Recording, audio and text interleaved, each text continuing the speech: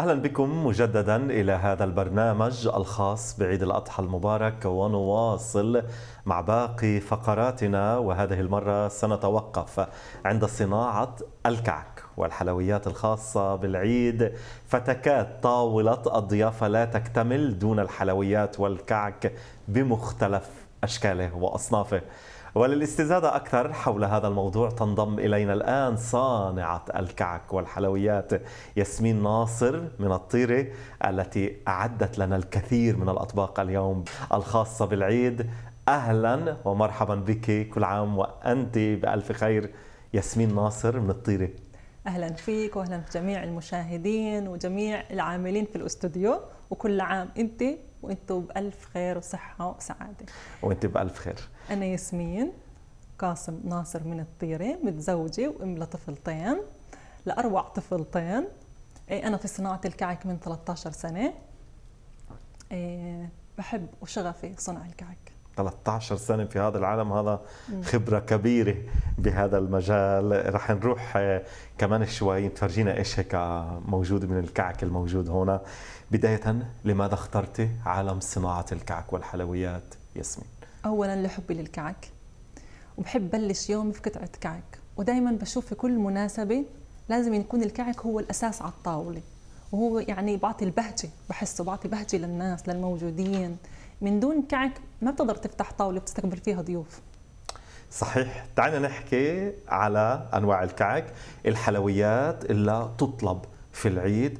ونحن نرى هنا على هذه الطاولة الكثير من الأصناف التي حضرتيها لنا. وبعدها بتحمل شكل خرفان عيد الأضحى صحيح؟ طبعا هاي الخرفان مشان ننشر البهجة للأطفال لأنه مهم جدا إنه نعطيهم السعادة وهاي الأشياء بتعطيهم هيك بنبسطوا لما يشوفوها موجودة على الطاولة. وفي كعكة الجبنه اللي هي دائما بتكون أكثر طلب عليها خاصة للكبار في الجيل. وطبعا تشكيلة الكعك المتنوعة اللي هي بترضي جميع الأذواق. عمليا تنوع واختلاف وألوان وأطعمة كثيرة. في سر بدك تكشفي لنا اياه اليوم بالحلقة؟ على هيك خطة معينة بتصنع فيها الكعك؟ سر واحد. سر واحد إنه كله مصنوع بحب. هاي هي النفس وال... اللي بخلي الأكل والحلو. يعني وأنا طيب. أحضر في الكعك بكون كثير مبسوطة. عمليا على الأقل موجود إحنا هون شايفين عدة أصناف. ذكرت كعكة الجبن. الدنيا حر صحيح. الناس بتطلب حلويات سخنة. إحنا بالعيد إيش الناس أكثر إشي؟ بارد. بارد. هاي الكاسات الباردة أكثر شيء مطلوبه هسه صحيح عم نشوف هيني كعكة الجبنه كل هذه الأمور هون. تعال احكي لنا أكثر عن هاي الكاسات. تعال ناخذ كاسه احكي لنا أكثر. إيش فيها؟ إيش موجود فيها؟ هاي الكاسة مثلا فيها بودنج كريم الفانيل مع كريمه الفستق مع الكنافة. كثير كثير طيبة وزاكي اللي هي بترضي جميع فتحت. نفسنا وإحنا هيك قاعدين على الطاولة. هذه حلويات باردة عمليا. حلويات باردة.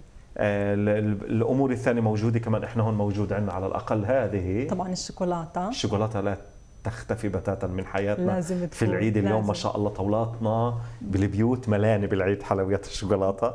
وكذلك من هذه الأمور. سؤال آخر قبل ما ننتقل للسؤال الثاني.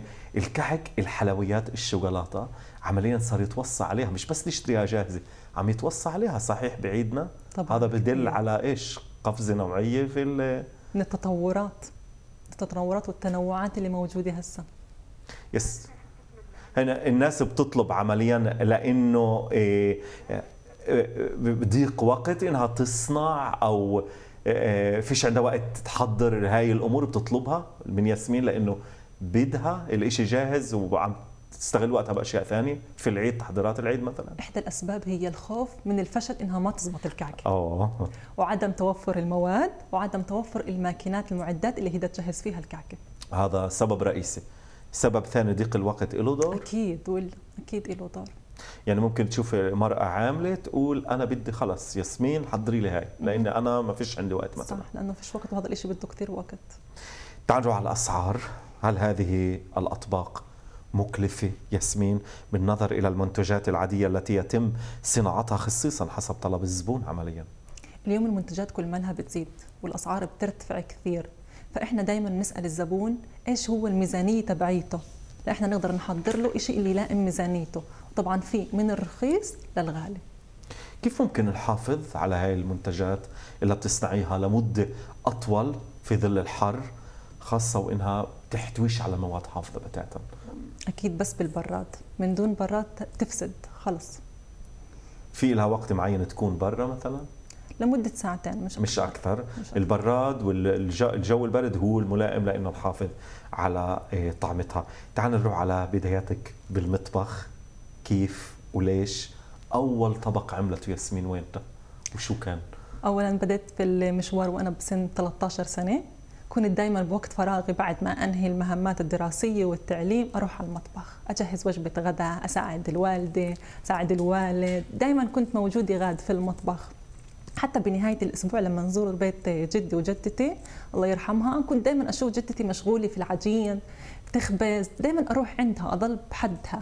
هات أساعدك هات أعجن. وكانت دائما تمدحني واو العجنة طلعت حلوة يسلم إيديك. ودائما دائما في مدح. لما أرجع على البيت كنت دائما بالليل أفتح الكتب اللي كانت أمي تشتريها للكعك وأتصفح فيها وأبلش أجرب. أصنع لهم كعكة. كانت دائما تزبط. الحلو إنه كانت دائما تزبط وينبسطوا. دائما تزبط ما كنتيش يعني لا. آه. فكان هذا الإشي كثير يحمسني ويشجعني وكان كثير أبوي الوالد يعني ضل يقول لي بتجنن زاكي انت عملتيها ما يصدق. سبحان الله هذا هو الدعم العائلي اللي بخلي بالآخر اليوم ياسمين صرت هيك علامة وماركة بهذا الشغل. كنت تخرب الطاولة كثير والمطبخ يتوسخ كثير وأنت تشتغل وأنت طفلة ولا لا؟ لا كان عندي مهم النظافة. أها. أهم شيء أهم شيء إنه المطبخ يكون نظيف. لما أنا أبلش أشتغل يكون المطبخ نظيف وانهي بنظافه يعني. آه، ذكرنا موضوع ال- الناس وتوصياتها لكل أنواع الكعك وطلباتها. هل هذا عن جد بالفعل بيرجع للتطور؟ أكيد. إنه الناس صارت تطلب أمور اللي تتميز فيها بطاولة العيد مثلا على الأقل؟ أكيد.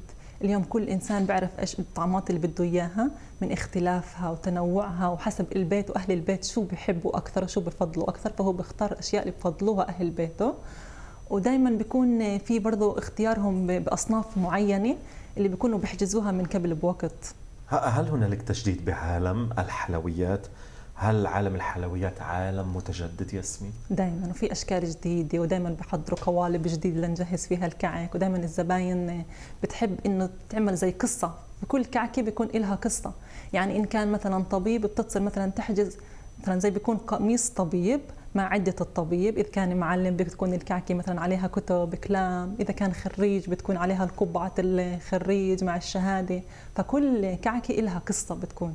ياسمين طلبات العيد، إحنا بالعيد ماذا طلبت الناس في العيد من ياسمين؟ طبعا بطلبوا دائما الناس ولحد الآن إنها تكون الطاولة مشكلة بأصناف طعمات مختلفة متنوعة إيه، اللي ترضي جميع الزائرين عندهم. عمليا آه، سؤال آخر يطرح آه، في ناس طلبت أشياء غريبة منك بالعيد بالحلويات إيه، الإشي الغريب اللي دائما بطلبوه أكثر إشي اللي هو الكعكات القديمة زي كعكة أها. البرتقال زي كعكة الشايش كعكة اللي هو بسيط يعني قد ما نتطور بضلهم يرجعوا لورا بدهم الكعكات برضو البسيطة اللي كانت بسيط وأصيل عمليا. فيه هاي الأصالة وعلى ما يبدو طاولاتنا. تقدرش يختفي منها هذا المنتج صحيح؟ أكيد أكيد. إحنا بنقول له. الزرد. صح. الزرد بالعجو وكل هذه الأمور صحيح. هذا هو أساس الطاولة. في العيد. يعني والحلو إنه صح إنهم بضلهم يطلبوا في الكعكات هاي الجديدة والمختلفة وزي ما شايفينها على الطاولة باختلافها بشكلها بأطعمتها. إلا دائما الحلو إنه كعك العيد دائما في له هيبته. قبل العيد بأسبوع لما تجتمع العيلة ويبلشوا يجهزوا في كعك العيد كثير الإشي حلو ودارج لحد الآن يعني. هل هنالك طلب على حلويات بدون سكر؟ إيه دارج عندك هذا الأمر؟ دائما موجود. وطبعا في له بديل اللي بنستخدمه إحنا. واليوم الأكثر شيء مطلوب والأكثر شيء صار دارج إنه في كثير طلاب في كثير أولاد اللي بنولدوا اللي عندهم حساسية من الحليب. فصار اليوم في طلب على الكعك اللي هو بدون مشتقات حليب. ودائما بيكونوا الأهل خايفين. إنه أنت عندك مثلا كعك تستخدمي فيه عدة أطعمة وعدة أنواع وعدة تنوعات في الألبان كيف بدك تعملي لنا كعكة بدون حليب؟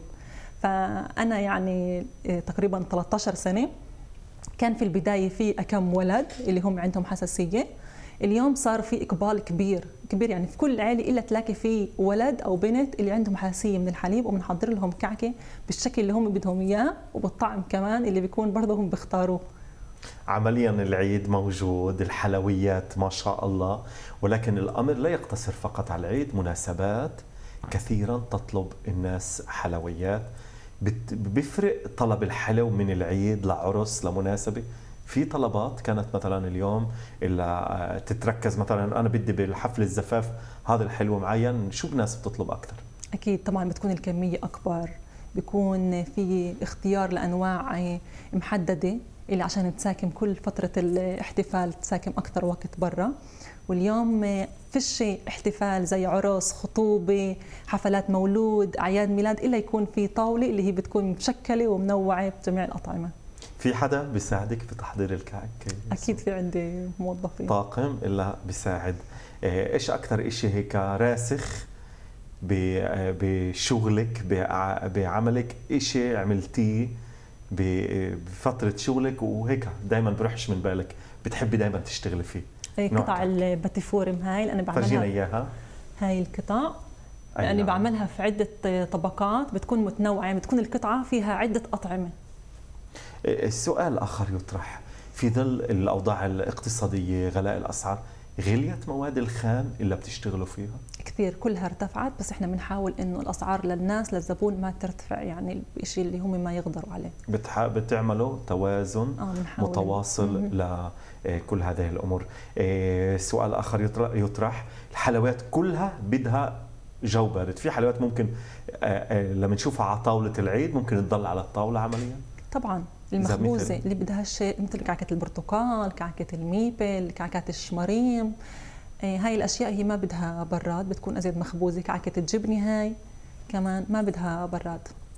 عمليا إيه، طاولة العيد هي تتزين في الكعك في الحلويات. شو بتحبي هيك تنصحي السيدة اللي عم تحتفل اليوم في عيد الأضحى تكون طاولتها أحلى؟ وأرتب شو بتقولي لها؟